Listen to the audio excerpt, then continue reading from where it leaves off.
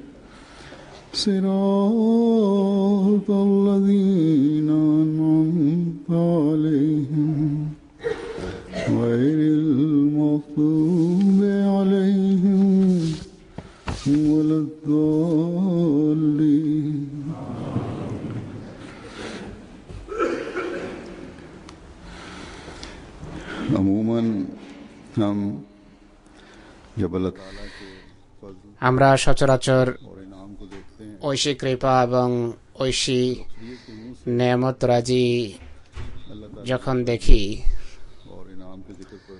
তখন অধিকাংশ মানুষ এমন নিয়ামত রাজি এবং অনুগ্রহের জন্য আলহামদুলিল্লাহ বলে থাকে।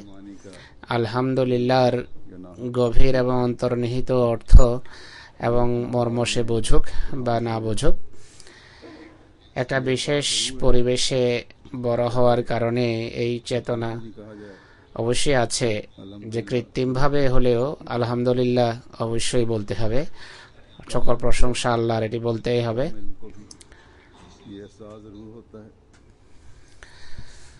তুচ্ছ জ্ঞানের অধিকারী যে তারও এই চেতনা আছে যে আলহামদুলিল্লাহ শব্দ অবশ্যই বলতে হবে। যা খোদার প্রশংসার প্রতি ইঙ্গিত করে।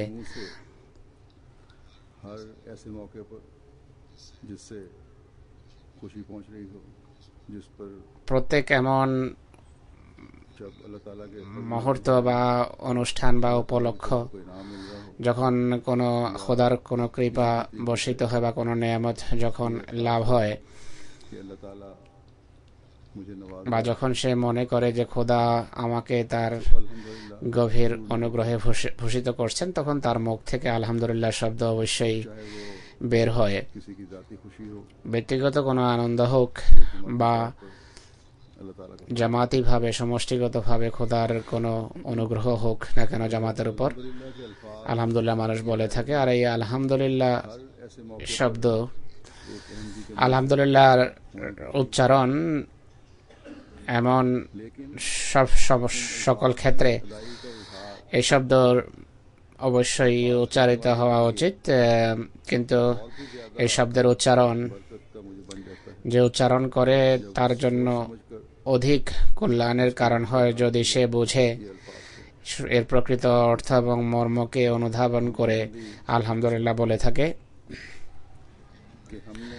আমরা আহমদেরা সৌভাগ্যবান যে আমরা এই যুগের ইমাম এবং মসিহে মৌদকে মেনেছি। প্রতিশ্রুত মাহদিকে আমরা গ্রহণ করেছি আর এই ইমান এবং বিশ্বাসের কারণে আলহামদুলিল্লাহ বা কোরআনের যে কোনো শব্দের অর্থ এবং অন্তর্নিহিত তত্ত্ব বুঝতে আমাদের কোনো অসুবিধা নেই। যদি এদিকে আমাদের মনোযোগ নিবদ্ধ থাকে। কেননা হজরত মসিহ মহদ আলাইসাল্লাতাম আল্লাহ তালার পক্ষ থেকে জ্ঞান লাভ করে এর প্রকৃত অন্তর্নিহিত তত্ত্ব সম্পর্কে আমাদের অবহিত করেছেন। আলহামদুলিল্লাহ হজরত মসিহ মহমদ আলাহিসাল্লা সাল্লাম বিভিন্নভাবে ব্যাখ্যা করেছেন। এখন আমি হামদ শব্দের সংক্ষিপ্ত ব্যাখ্যা তার ভাষায় উপস্থাপন করব। তিনি আলাইসালাম বলেন, এটি স্পষ্ট হওয়া উচিত যে হামদ সেই প্রশংসাকে বলা হয় যা কোনো প্রশংসাযোগ্য ব্যক্তির ভালো কর্মের কারণে করা হয়। এছাড়া এমন পুরস্কার দাতার প্রশংসার জন্য হামদ শব্দ ব্যবহার হয় যিনি নিজ ইচ্ছায় পুরস্কৃত করেছেন এবং নিজ ইচ্ছার অধীনে অনুগ্রহ করেছেন। আর হামদ শব্দের প্রকৃত অর্থে হামদ সে ব্যক্তির জন্য প্রযোজ্য, যিনি সমস্ত নিয়ামত এবং কল্যাণ রাজের উৎসস্থল। আর জেনে শুনে বুঝে কারও উপর অনুগ্রহ করে অজান্তে নয় বা বাধ্য হয়েও সে অনুগ্রহ করে না। আর হামদ শব্দের বা প্রশংসা শব্দের এই অর্থ একমাত্র সর্বজ্ঞানী এবং সর্বদ্রষ্টা খোদারি প্রাপ্য এবং তিনি অনুগ্রহকারী আদি এবং অন্তে সকল প্রশংসা, তারই সকল প্রশংসা তারই প্রাপ্য এ পৃথিবীতেও আর পরকালেও। আর তাকে বাদ দিয়ে অন্য যাদের প্রশংসা করা হয়, সেই প্রশংসারও প্রকৃত উৎসস্থল। তিনি সে প্রশংসাও তার দিকে ফিরে যায়। তো এটি সেই হামদ শব্দের বিস্তারিত অর্থ। এই কথাগুলো বা এ বিষয়ে সামনে রেখে যদি আলহামদুলিল্লাহ বলা হয়, তাহলে সেটি প্রকৃত হামদ। গণ্য হতে পারে যা একজন মোমেনের করা উচিত। কোরআন শরীফে হামদ শব্দ অনেক স্থানে খোদাতালার প্রশংসার দিকে ইঙ্গিত করে ব্যবহার হয়েছে। এখন আমি এই উদ্ধৃতির বরাতে কিছু কথা বলব, এর কিছু ব্যাখ্যাও করব। হজরত মসিহ মদ আলাই সালাতামেতে হামদ বা প্রশংসার ব্যাখ্যা করতে গিয়ে যেই সমস্ত কথার প্রতি মনোযোগ আকর্ষণ করেছেন, তা হল প্রধানত এমন প্রশংসা যা কোনো প্রশংসাযোগ্য ব্যক্তির ভালো কর্মের জন্য হয়ে থাকে বা যা তিনি ভালো কর্মের জন্য করিয়ে থাকেন। মানুষ মানুষেরও প্রশংসা করে, কিন্তু এখানে বলছেন যে যে প্রশংসার যোগ্য। আর প্রকৃত অর্থে আল্লাহ তালাই প্রশংসার যোগ্য আল্লাহ আল্লাহর চেয়ে বেশি প্রশংসার যোগ্য আর কে হতে পারে, এটি স্মরণ রাখতে হবে। সকল প্রশংসা মহান আল্লাহর, কেননা তিনি সবচেয়ে বেশি প্রশংসাযোগ্য।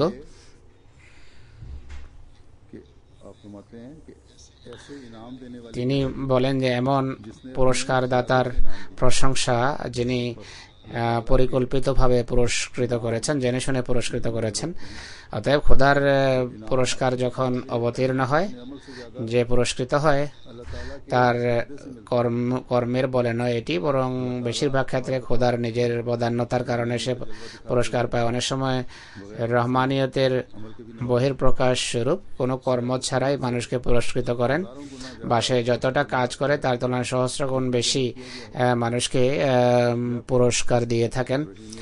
বা রহিমিয়তের বিকাশ স্বরূপ যদি পুরস্কৃত করেন, তাহলে এটিও খোদার ইচ্ছায় হয়ে থাকে। আল্লাহ এক বান্দাকে বা আল্লাহ মানুষকে কোনো কর্মের শক্তি এবং সামর্থ্য দেন বা দোয়া করার শক্তি ও সামর্থ্য দান করেন।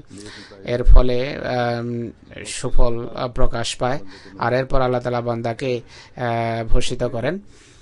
আর তৃতীয় কথা হলো আল্লাহ তালা নিজ ইচ্ছার অধীনে কারও উপর অনুগ্রহ করেন আর খোদার তুলনায়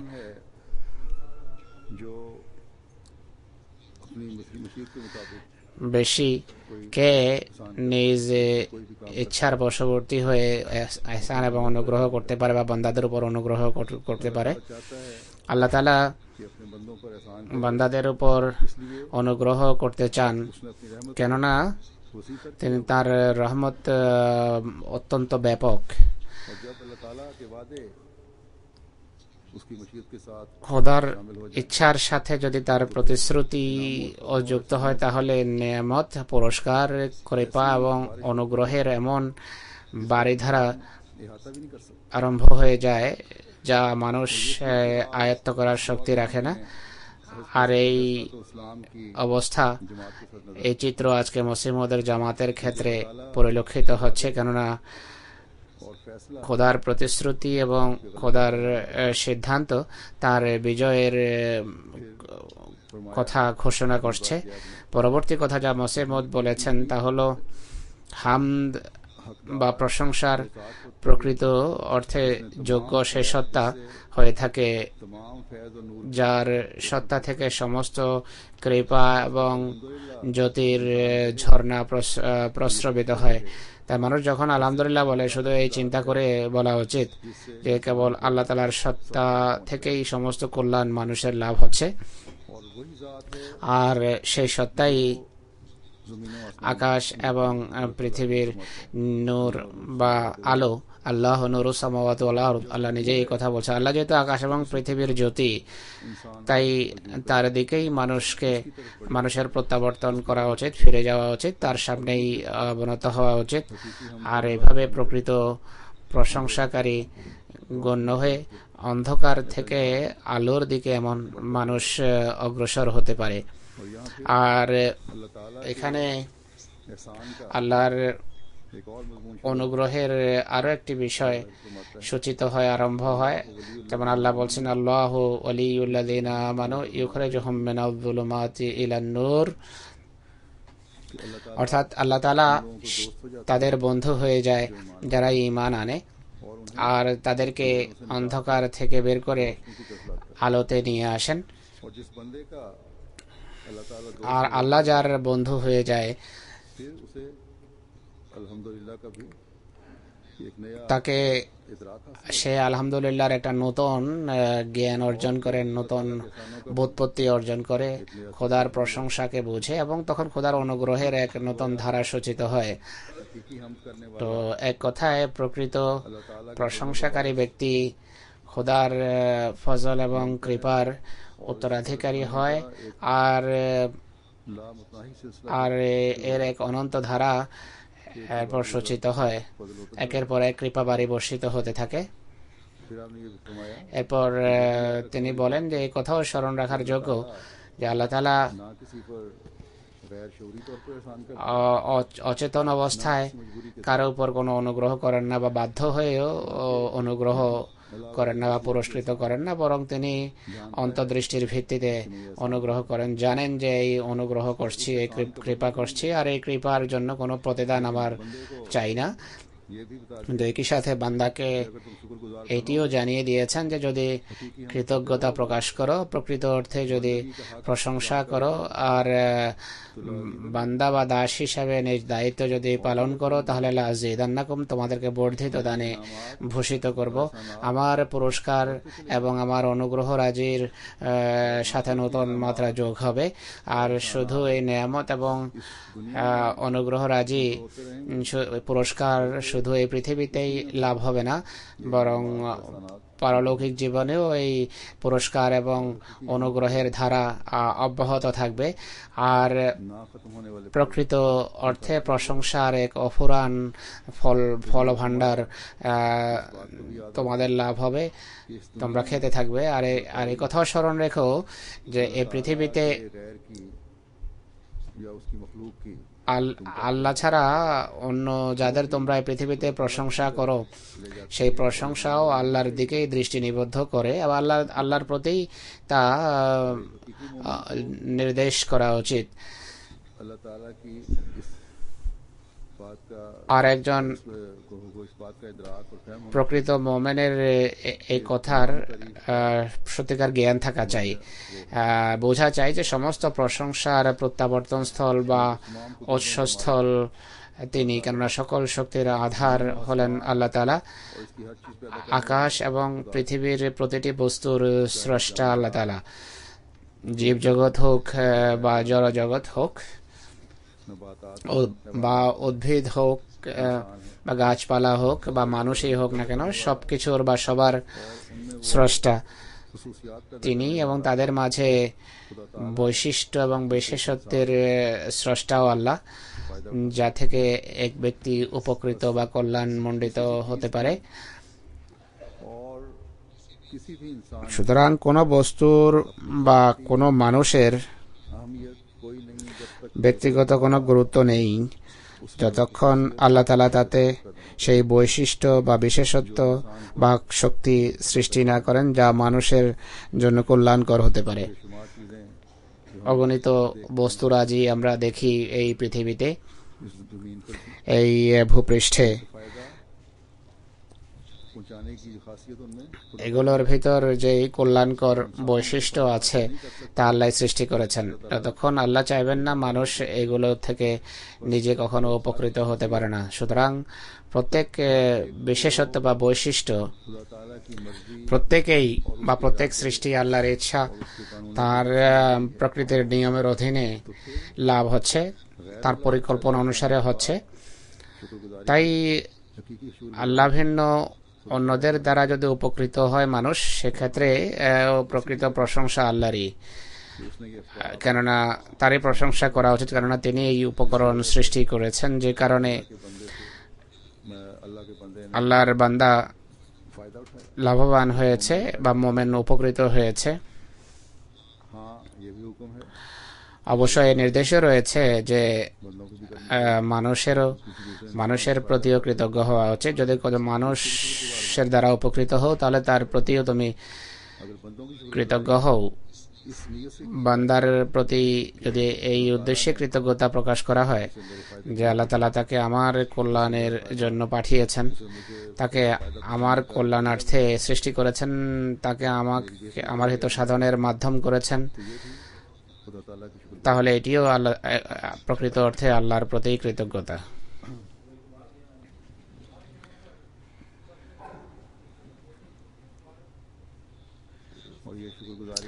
আর এই কৃতজ্ঞতা সেই বিশ্ব প্রতিপালকের, যিনি সারা বিশ্ব জগতের স্রষ্টা যিনি আমাদেরও সৃষ্টি করেছেন আর আমাদের লালন পালনের ব্যবস্থা এবং বিধান করেছেন। কোনো মানুষকে তখন মানুষ প্রভু মনে করে না, এই কথা মনে করে না যে এই বান্দার কারণে আমার সবকিছু হয়েছে। প্রভু, প্রকৃত প্রভু আল্লাহ তালাই হয়ে থাকেন, যিনি বিশ্ব প্রতিপালক। সুতরাং এটি এক মোমেনের প্রকৃত মোকাম এবং মর্যাদা এবং মহিমা যে সে খোদা তালার সে বান্দার হাতে বান্দার মাধ্যমে যখন উপকৃত হয়, তখন সেই অনুগ্রহের প্রকৃত উৎসস্থল আল্লাহ তালাকে মনে করে। বরং কারও পক্ষ থেকে যে সে যখন সদ্ব্যবহার দেখে, কারও সদ্ব্যবহার দেখে সে আল্লাহ তালাকেই এর উৎস মনে করে।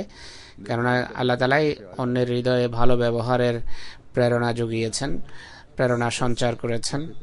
সুতরাং প্রতিটি এমন ক্ষেত্র বা উপলক্ষ বা মুহূর্ত যখন এক মোমেন উপকৃত হয় বা লাভবান হয়, তার চিন্তা ভাবনা তাকে খোদাতালার সত্তার দিকে নিয়ে যায়। এমনটি যদি হয়, তাহলে সেটাই প্রকৃত প্রশংসা বা হামদ, যার প্রতি মুসিমদ আমাদের মনোযোগ আকর্ষণ করেছেন এবং আমাদের মনোযোগ নিবদ্ধ করার নির্দেশ দিয়েছেন। খোদার অপার কৃপায় জামাতের সংখ্যাগরিষ্ঠ শ্রেণি এই চেতনায় সমৃদ্ধ হয়ে খোদার প্রশংসা করে থাকে এবং করা উচিত। কেননা ইমান এই প্রকৃত প্রশংসার ফলেই উন্নতি করে। কিন্তু সমষ্টিগতভাবে আমাদের এই চেতনা এই সমৃদ্ধ হওয়া উচিত যে প্রতিটি ক্ষেত্রে এবং প্রতিটি উপলক্ষে আল্লাহ তালা যে জামাতের, জামাতকে উন্নতি দিচ্ছেন, জামাতের যে উন্নতি হচ্ছে, এর জন্য যেন আমরা আল্লাহ দরবারে কৃতজ্ঞ হই এবং আলহামদুলিল্লাহর প্রকৃত অর্থ যেন অনুধাবন করি। আর এভাবে যদি খোদার প্রশংসা করা হয়, তাহলে আল্লাহ তালার কৃপা বাড়ি পূর্বের তুলনায় বহুগুণ বর্ধিত রূপে বর্ষিত হবে। এই প্রকৃত প্রশংসা, প্রকৃত আলহামদুলিল্লাহ মানব জীবনে এক আধ্যাত্মিক বিপ্লব আনয়ন করে। সুখ্যাতি, সূক্ষ্ম শেরক এবং সেবাদিতা থেকে মানুষকে রক্ষা করে। এক মানুষকে প্রকৃত বান্দা বা দাসে পরিণত করে। আর নির্দেশাবলী সন্ধান করে সেগুলো সে মেনে চলে মেনে চলার প্রতি মনোযোগ দেয় যা মানার আল্লাহ নির্দেশ দিয়েছেন। মানবিক মূল্যবোধ বাক্যে সজ্জিত হওয়া এবং উন্নত নৈতিক গুণাবলী প্রদর্শনের প্রতি মনোযোগ আকর্ষণ করে। অতএব এই হামদ বা প্রশংসারই আমাদের সন্ধান করা উচিত। গত জুমার খোদবা আমি ক্যানাডায় দিয়েছিলাম যাতে আমি আমেরিকা এবং কানাডার যুবক শ্রেণির কথা উল্লেখ করেছিলাম। আল্লাহ তালা তাদেরকে তৌফিক দিয়েছেন। তারা জামাতি কাজে বেশ কর্মঠ এবং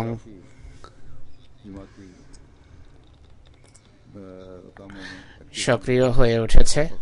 আর বিশেষ করে অন্যদের সাথে যোগাযোগ স্থাপনের ক্ষেত্রে, রাবতার ক্ষেত্রে তারা অনেক এগিয়ে গেছে। আর এই যোগাযোগের ভালো ফলাফল প্রকাশ পাচ্ছে। অনেক শিক্ষিত মানুষের সাথে তাদের যোগাযোগ প্রতিষ্ঠিত হয়েছে। দেশের বরেণ্য বড় বড় ব্যক্তিবর্গের সাথে। যোগাযোগ প্রতিষ্ঠিত হয়েছে। সেই সকল রাবতা বা যোগাযোগের কারণে গণযোগাযোগের ফলশ্রুতিতে আমার বিভিন্ন লোকের সাথে আমার সাক্ষাতের ব্যবস্থা করা হয়েছে। সাক্ষাতের সুযোগ হয়েছে। তাদের অধিকাংশ আমাদের মসজিদে এসে সাক্ষাৎ করে। বড় বড় মানুষ যাদের সম্পর্কে ধারণা করা হয় যে এরা আসবে না কখনো।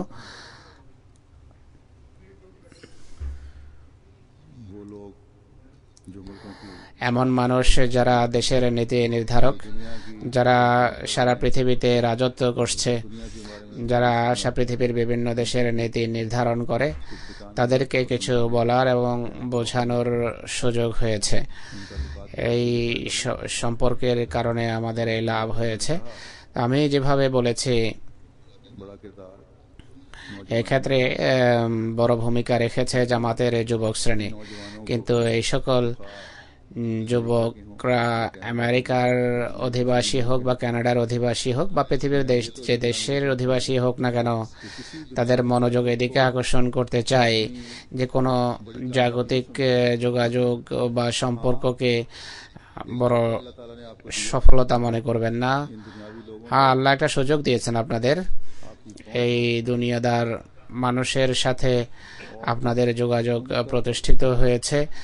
আর তাদের কাছে প্রকৃত এবং ইনসাফ ভিত্তিক ইসলামী শিক্ষা পৌঁছানোর আপনারা সুযোগ পেয়েছেন। বা আপনারা তাদের সাথে আমাকে মিলিয়েছেন বা কোনো অনুষ্ঠানের যে ব্যবস্থা করেছেন এর ফলে আল্লাহ আমাকে তৌফিক দিয়েছেন তাদেরকে ইসলামের সুন্দর শিক্ষা সম্পর্কে অবহিত করার। আর এদেশের বড় বড় মানুষ যারা পৃথিবীর নীতি নির্ধারণ করে, তাদেরকে বলার সুযোগ পেয়েছে। তাদেরকে বলেছি যে পৃথিবীর পৃথিবীর কীভাবে নেতৃত্ব দিতে হয় বা দেওয়া উচিত। তাই পৃথিবীর সকল স্থানের যুবক শ্রেণীকে আমি বলতে চাই আর যেহেতু এখন আমেরিকা এবং ক্যানাডার সফর থেকে ফিরে এসেছি তাই এই দুই দেশের যুবকদেরকে বিশেষভাবে বলব নিজেদের যোগ্যতা বা যোগাযোগ কে সফলতার কারণ মনে করবেন না বরং খোদার কৃপা জ্ঞান করে খোদার প্রশংসা করুন। তিনি আপনাদেরকে যোগাযোগ প্রতিষ্ঠার সুযোগ দিয়েছেন। আর এর উদ্দেশ্য আমাদের ব্যক্তিগত স্বার্থ সিদ্ধি নয়, আর এমনটি হওয়া উচিত নয়। আমাদের উদ্দেশ্য হল পৃথিবীকে পথ দেখানো, যথাসাধ্য পৃথিবীবাসীদের সঠিক পথে চলার রীতি শেখানো। যদি যদি তারা মানে ঠিক আছে, নতুবা অন্তত পক্ষে আমাদের দায়িত্ব পালিত হয়ে যাবে। পৃথিবীকে নৈরাজ্য এবং ধ্বংসযজ্ঞ থেকে রক্ষা করা হলো আমাদের উদ্দেশ্য। কেননা যে পথে পৃথিবীবাসী অগ্রসর হচ্ছে, যদি তাদের এই সফর অব্যাহত রাখে, তারা ভয়াবহ ধ্বংসযজ্ঞের সম্মুখীন হবে। পৃথিবীকে, পৃথিবীবাসীদের খোদার দিকে আনতে হবে। যদি কেউ মনে করে যে সম্পর্কের পিছনে আমাদের কোনো স্বার্থ আছে বা আমাদের কোনো যোগ্যতা, দক্ষতার কারণে সম্পর্ক প্রতিষ্ঠিত হয়েছে বা জামাতে আহমদিয়ার উন্নতির সাথে সম্পর্কযুক্ত তাহলে সে ভ্রান্তিতে নিপতিত। আমি যেভাবে স্পষ্ট করেছি, প্রশংসার বিষয়ের প্রেক্ষাপটে স্পষ্ট করেছি যে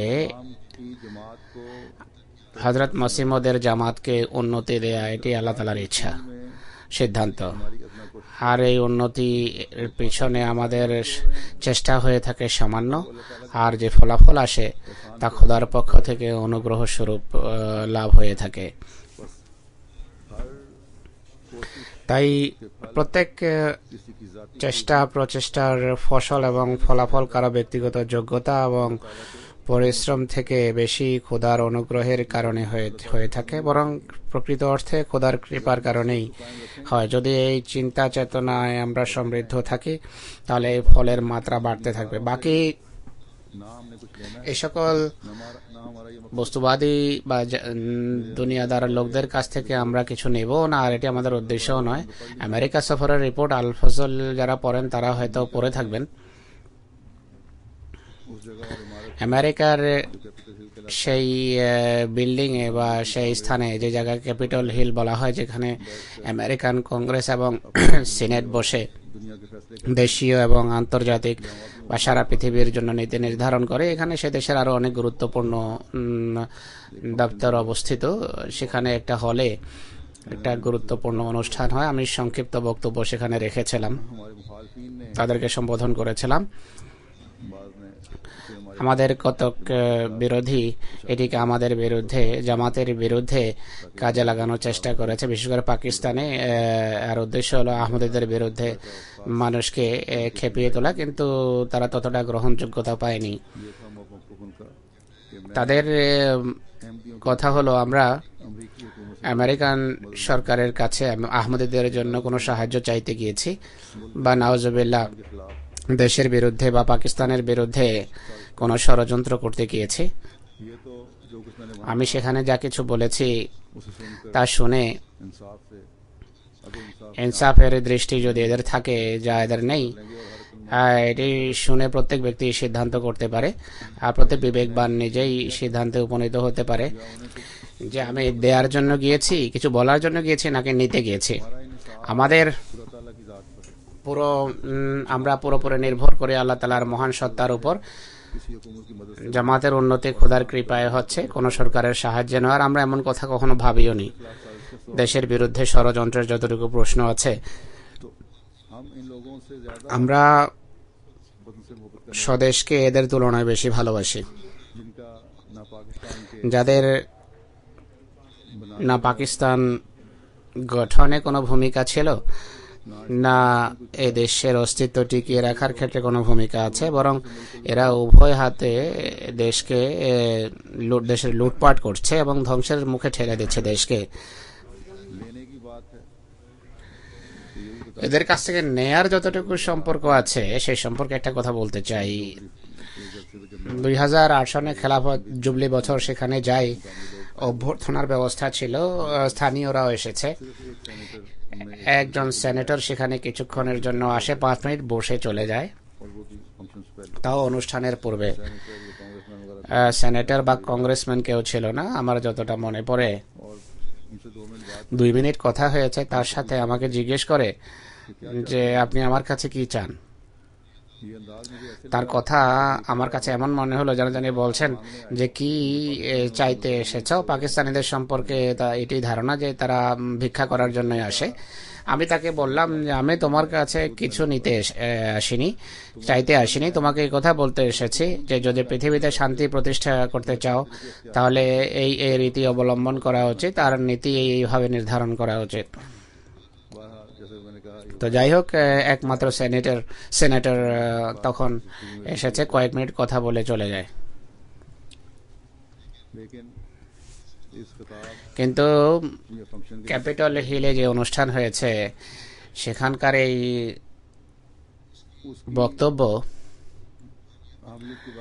আর এর গুরুত্বের যতটুকু সম্পর্ক আছে আমার জন্য শুধু এতটা গুরুত্বপূর্ণ ছিল যে যদি এই নেতারা সমবেত হয়, শিক্ষিত শ্রেণি সেখানে উপস্থিত হয়, তাহলে তাদেরকে ইসলামের শিক্ষার কিছু দিক তুলে ধরব। আর বিশ্ব শান্তির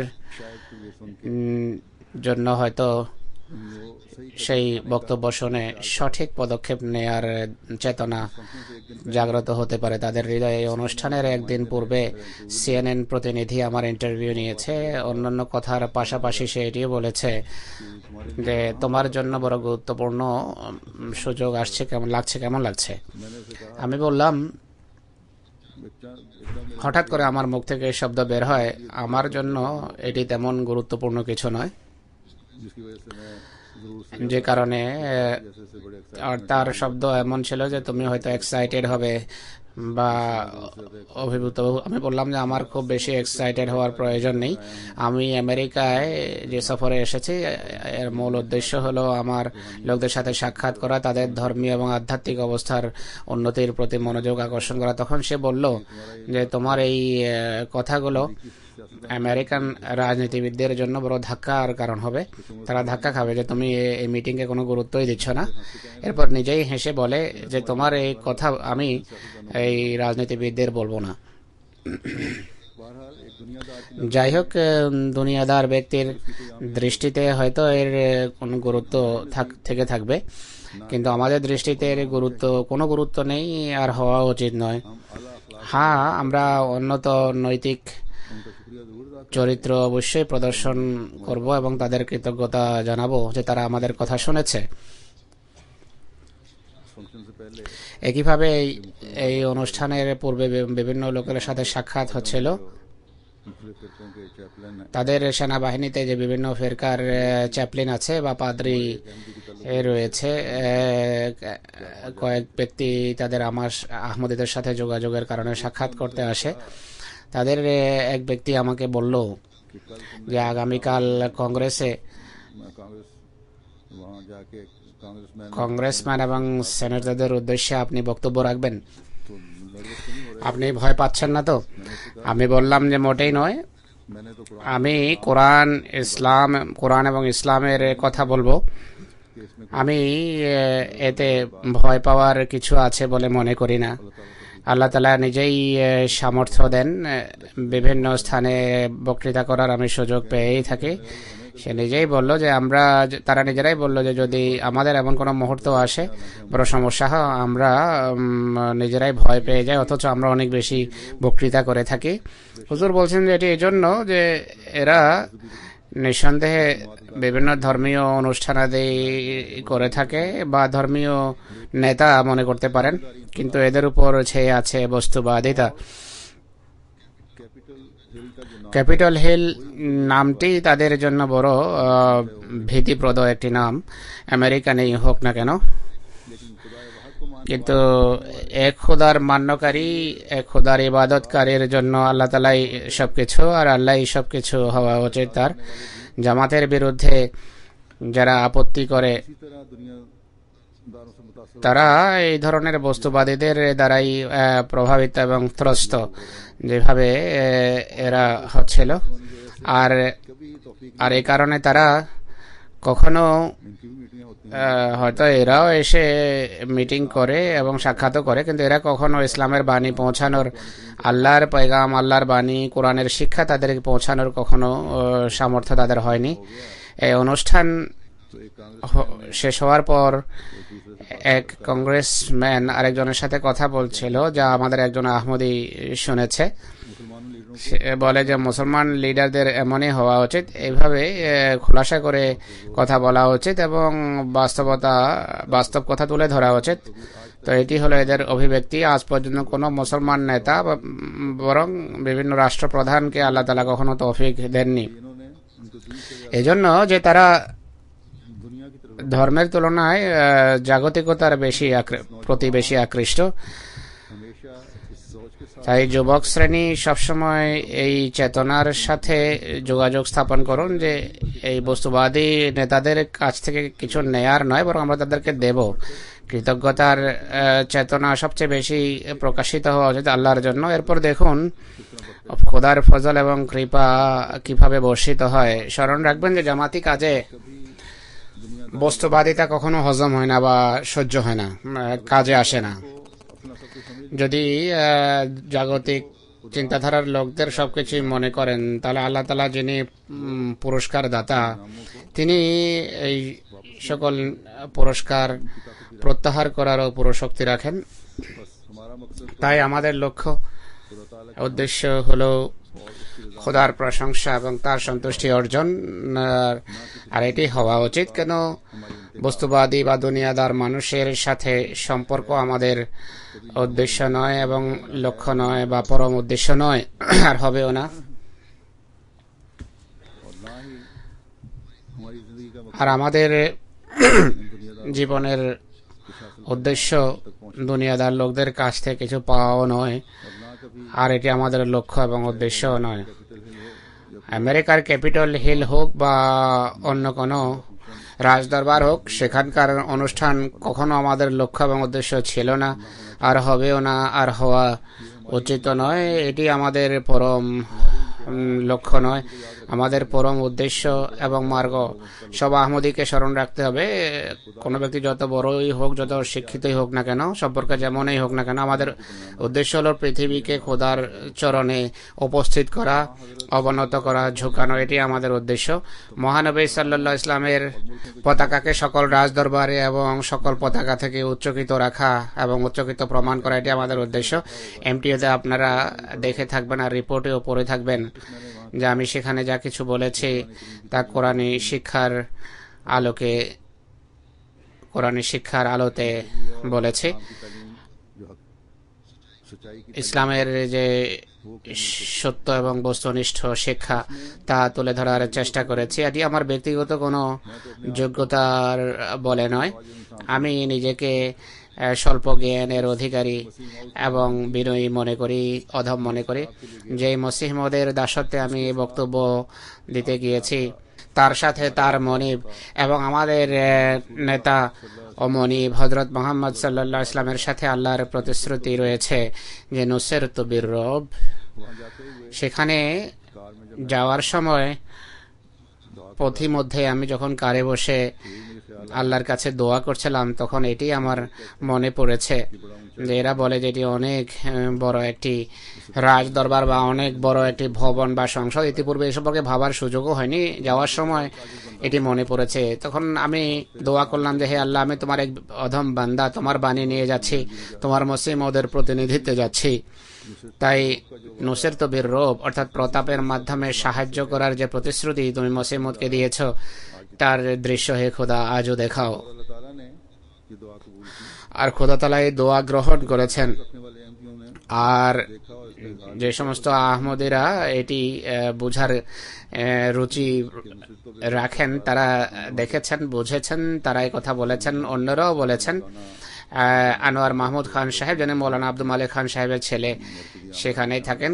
সেখানকার কেন্দ্রীয় আমেলার তিনি সদস্য, তিনি সংক্ষিপ্ত এক প্রবন্ধ লিখেছেন। আর আমি মনে করি এটি তার উচিত এটি আলফজাল এবং অন্যান্য পত্রিকায় ছাপিয়ে দেয়া।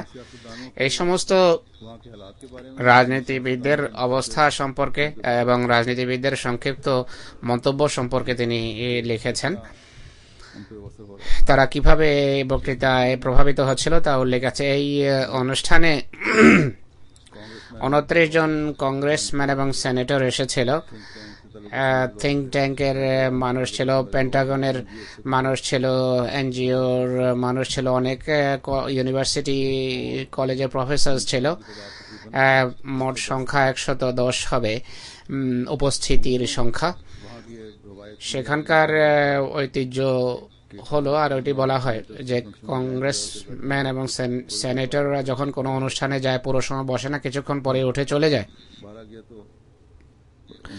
যাই হোক, এটি তাদের নৈতিকতার মান কেমন তারাই ভালো জানে, কিন্তু সবাই জানে যে তারা বসে না, চলে যায়। কিন্তু এই অনুষ্ঠানে দু তিনজন ছাড়া যারা পূর্বে অনুমতি নিয়েছিল চলে যাওয়ার বাকি সবাই উপস্থিত ছিল। তারা পুরো সময় বসেছে, বরং ক্যাপিটাল হিলের একজন পুরনো ব্যুরোক্রেট যিনি সেখানে কাজ করেন, তিনি বলেন যে, পনেরো বছর থেকে আমি এখানে কাজ করি। প্রথম তিনি বলেন যে, আমি কখনো দশের অধিক কংগ্রেসম্যান এবং সেনেটরকে কোনো অনুষ্ঠানে একত্রে আসতে দেখিনি। দ্বিতীয়ত পাঁচ সাত বা দশ মিনিট বা যার অনুষ্ঠানে হোক না কেন এর বেশি তারা বসে না উঠে উঠে চলে যায়। অনেক কোনো রাষ্ট্রপ্রধান আসুক যেই আসুক বা আমাদের নিজেদের অনুষ্ঠানেও তারা বসে না। এরপর এই কথা আমার জন্য সম্পূর্ণভাবে নূতন ছিল। সে বলল যে বিভিন্ন পার্টির লিডার আর বিরোধী দলের নেতা এবং সরকারি দলের নেতারা সবাই বসেছিল। যে সেনেটরের কথা আমি বলেছি, যিনি দুই হাজার আট সনে আমার সাথে সাক্ষাৎ করেছেন, অহংকার সূচক কথাবার্তা বলেছিলেন। তিনি সেখানে শুধু আসেন, সেখানে এসে আসেননি, বরং স্টেজে এসে বক্তব্য রেখেছেন। পুরো সময় যতক্ষণ বক্তৃতা চলছিল, বসেছিলেন এবং শুনে গিয়েছেন। এমন কিছু মানুষও ছিল যাদের কতক সেনেটর ছিল, কতক কংগ্রেসম্যান আসনের অভাবে দাঁড়িয়ে শুনেছে। সেখানকার সেখানে বড় হল নেই বড় বড় কক্ষ হয়ে থাকে। একটা সবচেয়ে বড় হল ছিল এটি, যেখানে অনুষ্ঠান হয়েছে। আসনের অভাবে এরা দাঁড়িয়ে অনুষ্ঠান শুনতে থাকে। আর সে সকল কথা তারা মনোযোগ সহকারে শুনে, যা হয়তো তাদের রুচি সম্মত ছিল না, রুচি পরিপন্থী ছিল। আমি তাকে বলেছি, তাদেরকে বলেছি যে, ইনসাফ করো, ন্যায় নীতির ভিত্তিতে শাসন করো। যদি সুবিচার করতে না পারো, তোমরা যত শক্তিশালী হোক না কেন, পৃথিবীর বিভিন্ন রাষ্ট্রকে তোমরা নিয়ন্ত্রণে রাখতে পারবে না। শান্তি প্রতিষ্ঠার জন্য বড় রাষ্ট্রের উচিত, ছোট রাষ্ট্রের সাথে ন্যায় নীতির ভিত্তিতে নিরাপত্তা পরিষদ এবং জাতিসংঘে সমান অধিকারের ভিত্তিতে প্রত্যেক জাতির বসার সুযোগ থাকা উচিত। অন্য জাতির সম্পদের প্রতি লোভাতর দৃষ্টি রাখবেন না। এই কথাগুলো এমন নয় যা তাদের কাছে খুব পছন্দনীয় ছিল। আর এই সব কিছু কোরআনী শিক্ষা থেকে আমি তাদেরকে অবহিত করেছি।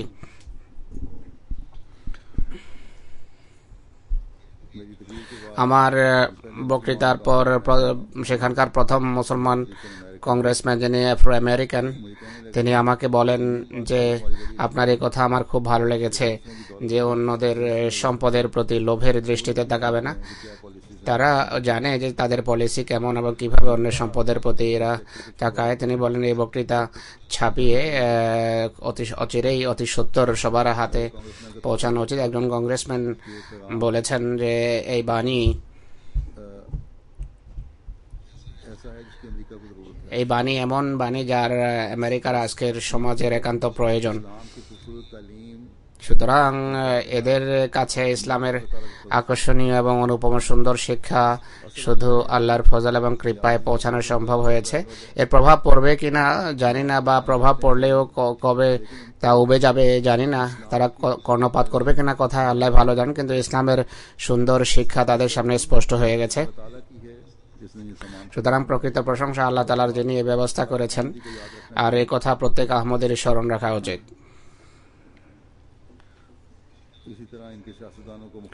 একইভাবে তাদের রাজনীতিবিদদের বিভিন্ন সময় মোলাকাতে আমি সুবিচার প্রতিষ্ঠার প্রতি মনোযোগ আকর্ষণ করেছি। তা, আর তা যদি তারা করে পৃথিবীও নৈরাজ্য থেকে রক্ষা পাবে আর এরা নিজেরাও। আর যদি না হয়, তাহলে আল্লাহ তালার তাকদির নিজ মহিমায় প্রকাশিত হবে। ক্যানাডাতে আমাদের সেক্রেটারি খারেজা একজন যুবক। তিনি এবং তার টিমের ভালো ভালো যোগাযোগ রয়েছে। নবাগতদের নতুন লোকদের সাথে, নতুন নতুন লোকের সাথে যোগাযোগ হচ্ছে। পুরনোদের সাথে সম্পর্ক যা আছে তা তারা বহাল রেখেছেন।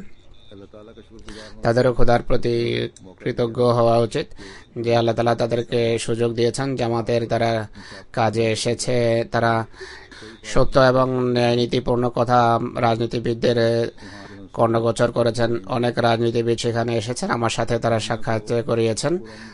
পৃথিবীকে শান্তিপূর্ণ স্থানে পরিণত করার জন্য বড় বড় দেশের রাজনীতিবিদদেরকে বোঝানো আবশ্যক। একইভাবে শিক্ষিত শ্রেণীকেও বুড়ানো বোঝানো আবশ্যক। এবার কানাডায় এমন দুটো অনুষ্ঠান হয়েছে, অভ্যর্থনা বলতে পারেন, বা নতুন তাহের হল তারা নির্মাণ করেছেন, হলের উদ্বোধন ছিল। স্থানীয় কানাডিয়ানদের একটা বিরাট শ্রেণি সেখানে অংশগ্রহণ করে। রাজনীতিবিদ এবং শিক্ষিত শ্রেণি উপস্থিত ছিল, যাদেরকে ইসলামী শিক্ষার আলোকে কিছু বলার সুযোগ হয়েছে। কোনো কোনো অতিথির মন্তব্য আমার কর্ণগোচর হয়েছে, যা অত্যন্ত ইতিবাচক ছিল। আল্লাহ তালা করুন, এই মন্তব্য তাদের হৃদয়কে এবং তাদের নীতিকে যেন পরিবর্তন করতে পারে। এই তাহের হল সম্পর্কে এটিও আমি জানিয়ে দিতে চাই যে, ইতিপূর্বে একটি সরকারি প্রতিষ্ঠান যারা কিছু দাতব্য প্রতিষ্ঠান এবং এনজিওকে সাহায্য করে থাকে। প্রায় দুই আড়াই মিলিয়ন ডলার দেওয়ার প্রতিশ্রুতি দিয়েছিল এর নির্মাণের জন্য।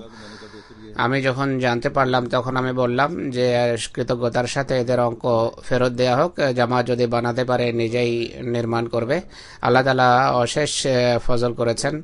জামাতকে তিনি তৌফিক দিয়েছেন। বেশ কয়েক মিলিয়ন ডলার খরচ করে এই হল এবং এর পাশে জামিয়া আহমদিয়ার ভবন নির্মিত হয়েছে। যদিও কানাডার জামাত বিভিন্ন জায়গায় মসজিদ নির্মাণ করছে, বেশ কয়েক মিলিয়নের পরিকল্পনা এবং প্ল্যানিং তাদের তারা হাতে নিয়েছেন।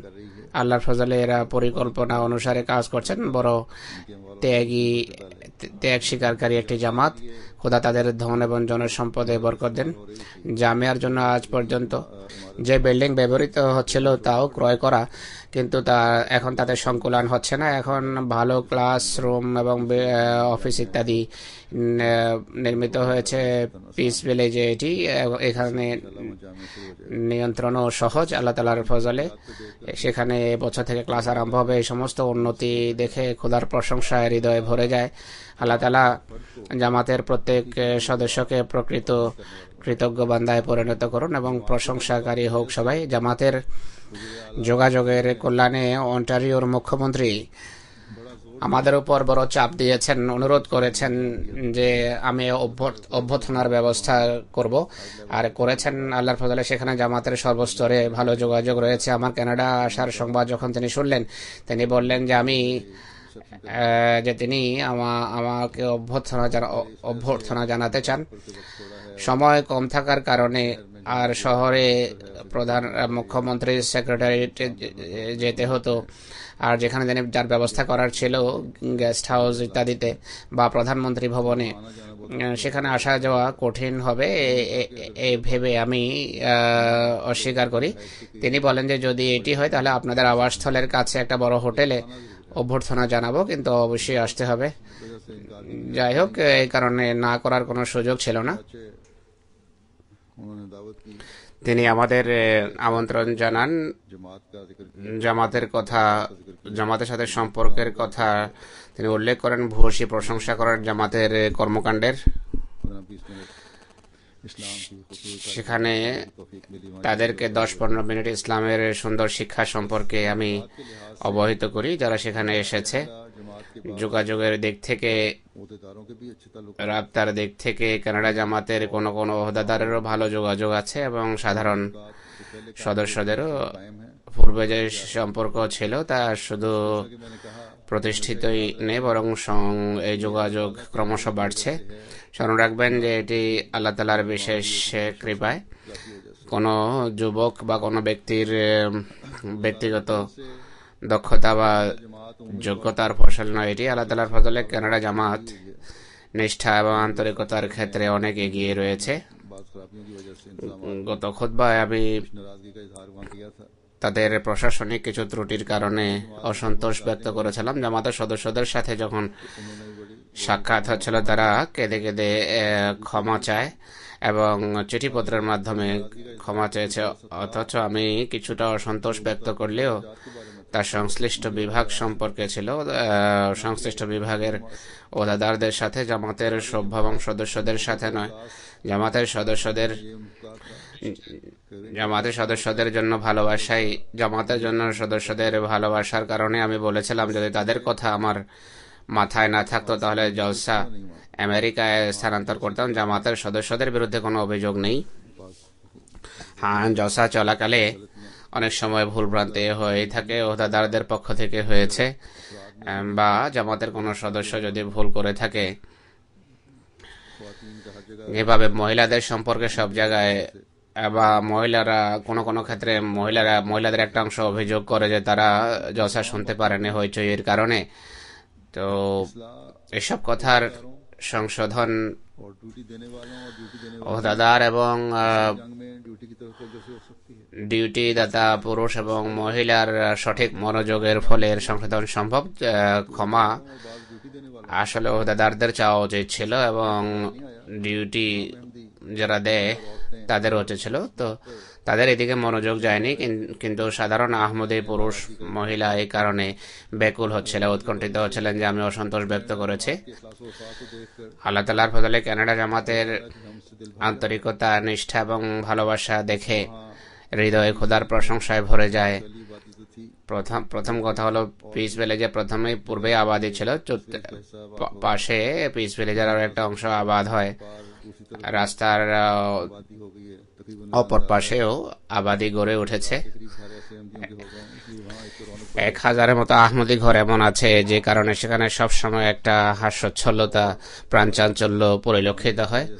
আর সর্বত্র আহমদি পরিবেশের চিত্র চোখে পড়ে। আল্লাহর ফজলে কানাডার জামাতের সদস্যদের নিষ্ঠা এবং বিশ্বস্ততা, আন্তরিকতা দেখে হৃদয়ে খোদার প্রশংসায় ভরে যায়। আল্লাহ কত সুন্দর মানুষ হজরত মসিমদের জামাতকে দিয়েছেন। এত প্রিয় জামাত এটি, যে জামাত খেলাফতের প্রতি পরম ভালোবাসার বহির্প্রকাশ তাদের মাঝে দেখা গেছে। পিস ভিলেজে খুব সুন্দর পরিবেশ প্রতিদিন চোখে পড়তো, যেভাবে বলেছি। সময় অল্প, আর রমজানও আসছিল। আরও কিছুদিন সেখানে অবস্থানের ইচ্ছা হচ্ছিল তাদের ভালোবাসা দেখে। খোদার কৃপারাজির ভিতর এটিও একটি অন্তর্ভুক্ত।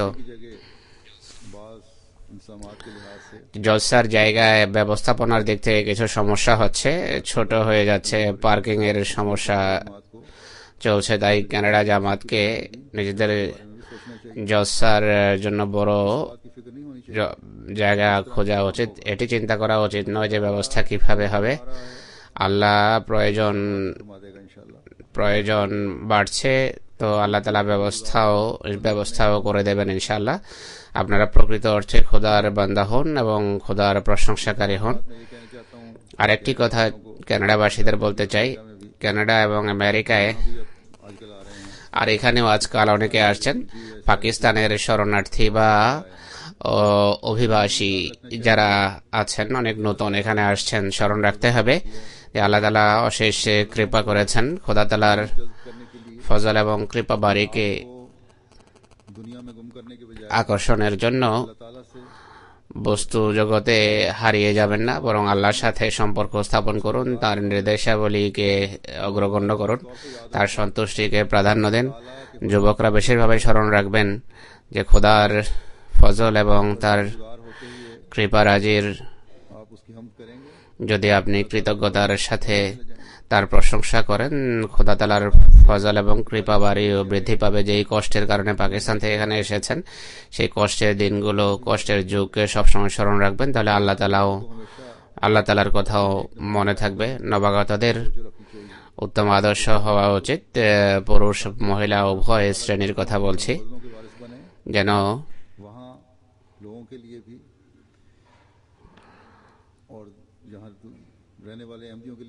কৃপারাজের উত্তরাধিকারী হওয়ার পাশাপাশি মানুষের জন্য, স্থানীয় লোকদের জন্য একদম আদর্শ হন।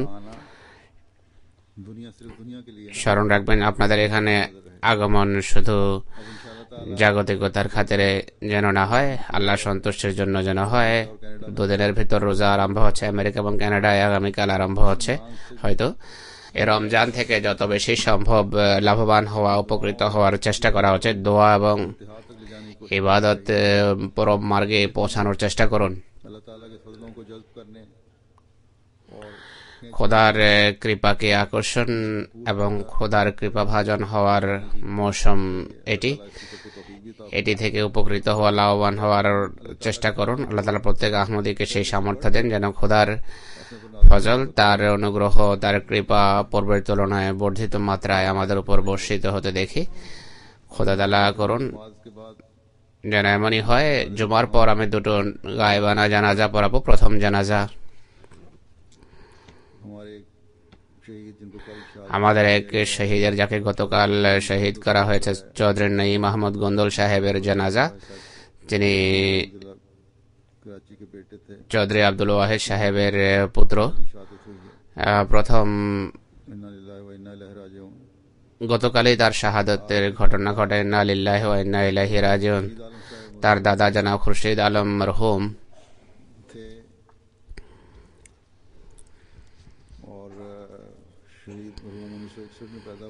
তার দাদার নাম হলো খুরশিদ আলম মরহুম উনিশশো একষট্টি সনে। উত্তর সরগোদার নিরানব্বই নম্বর গ্রামে জন্মগ্রহণ করেন। উনিশশো একাত্তরে গোন্দল কোর্টে কোর্টেজে স্থানান্তরিত হন, এরপর অরঙ্গি শহরে, অরঙ্গি টাউনে আসেন করাচির। উনিশশো সনে তার দাদি দ্বিতীয় খলিফার হাতে বয়াত করেছেন। আর দাদার বয়াত দাদা বয়াত করেছেন পরে।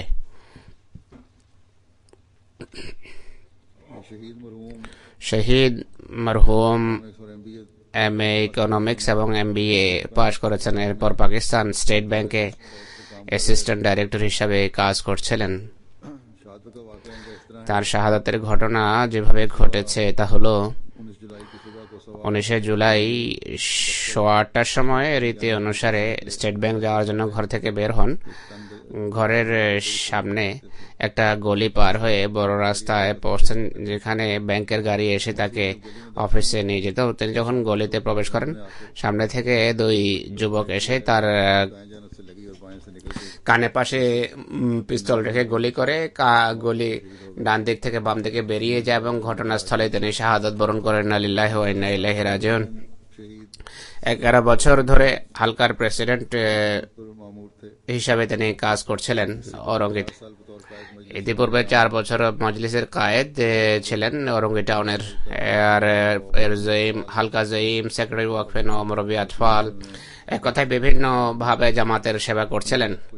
অত্যন্ত উন্নত স্বভাবের মানুষ মিশক স্বভাবের মানুষ ছিলেন। এলাকার মানুষেরও তার সম্পর্কে এটাই মতামত। অরঙ্গি টাউনের অবস্থা কিছুদিন থেকেই খারাপ হচ্ছিল আর বিরোধিতা চলছে বড় বীরত্বের সাথে তিনি মোকাবেলা করছেন এসব কিছুর। মোকাবেলা করে আসছেন। বড় সাহসী ছিলেন সাহসী ছিলেন, মুসিও ছিলেন। কিছু গায়রাহমদীও শোক প্রকাশের জন্য আসে। তারাও তার গুণাবলীর কথা এভাবে উল্লেখ করেছে সেখানে। এখানে বেশ কয়েক বছর ধরে জলসায় আসছিলেন, যার ঘরে থাকতেন তার ছেলে মেয়েরা বলেন যে, আমাদের ঘরে জলসার মেহমান না যে আমাদের, অন্য মেহমান যারা আসতেন তাদের মেজবান হয়ে যেতেন তিনি। বরং এত বিনয়ী ছিলেন নিজের বোট পালিশ করার সময় অন্যান্য মেহমানদেরও বোটে, বোট পালিশ করতেন। এক জলসায় অনেক বৃষ্টি হচ্ছিল। সবাই যে গামবোট পরে রেখেছিল, তাতে কাদা লিখেছিল আমরা এসে রাতে খুলে রেখে দিই। অনেক কাদা ছিল গামবোটে সকালে উঠে দেখি যে সবগুলো বোটেই বড় পরিষ্কার করে লাইনে রাখা আছে। রাতে জলসার যত মেহমান তাদের ঘরে ছিল সবার বোটের মাটি পরিষ্কার করে, পলিশ করে ধুয়ে সেখানে রেখে দেন তিনি। অত্যন্ত বিনয়ী প্রকৃতির মানুষ ছিলেন।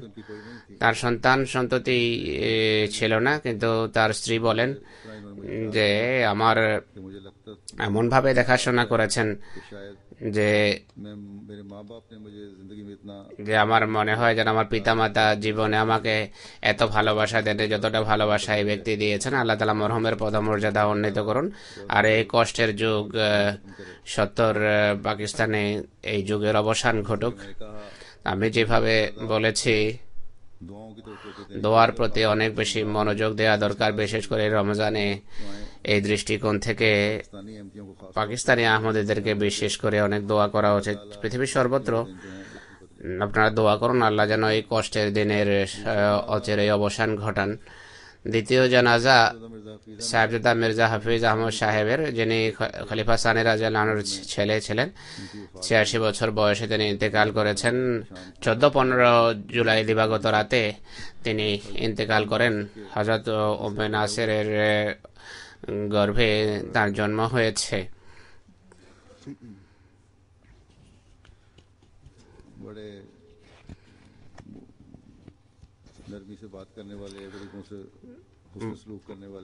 বরণ নমনীয় কোমল কণ্ঠে কথা বলতেন গরিবদের সাথে সদ্ব্যবহার। অভ্যস্ত ছাড়া মৌলী ফাজালে পরীক্ষা পাশ করেন এরপর খলিফা সানি রাজি আল্লাহনু সিন্ধুর জমিতে তাকে পাঠিয়ে দেন। সেখানে কাজ করেন। এরপর এটি যখন বন্ধ হয়ে যায় তিনি তার ব্যবসা করেন। খেলাফতের সাথে তার সুসম্পর্ক ছিল। রীতিমতো আমাকে পত্র লিখতেন। বড় নিষ্ঠা। এবং আন্তরিকতার সম্পর্ক প্রকাশ করেছেন আমার মা ছিলেন, আল্লাহ তার পদমর্যাদা উন্নীত করুন। তার প্রতি মাগফিরত করুন। আমি যেভাবে বলেছি, নামাজের পর তা জুমার নামাজের পর তাদের নামাজে জানাজা গায়েব পড়াবো ইনশাল্লাহ